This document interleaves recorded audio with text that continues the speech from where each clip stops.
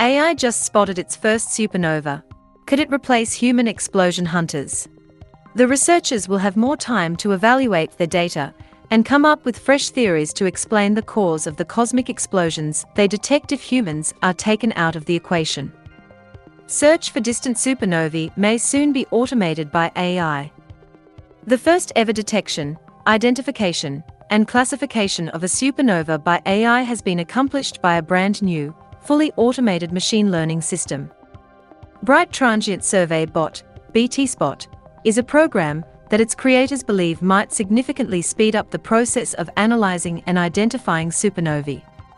BTSbot has the potential to eliminate the need for human and computational assistance in the detection of supernovae. The BTSbot Group estimates that human astronomers have spent over 2,200 hours visually inspecting and classifying potential supernova candidates over the previous six years.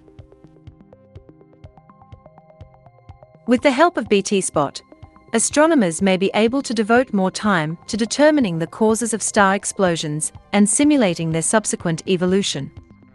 Adam Miller, a professor of physics at Northwestern University in Illinois, and leader of the team, stated in a statement For the first time, a series of robots and AI algorithms have observed, then identified, then communicated with another telescope to finally confirm the discovery of a supernova.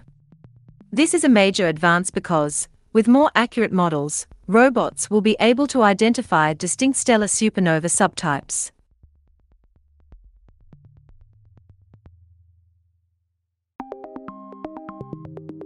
you.